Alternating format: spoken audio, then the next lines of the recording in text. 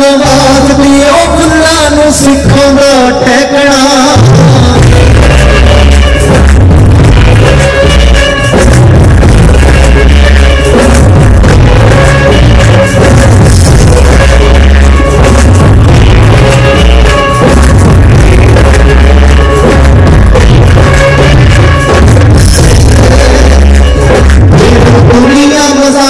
Gracias.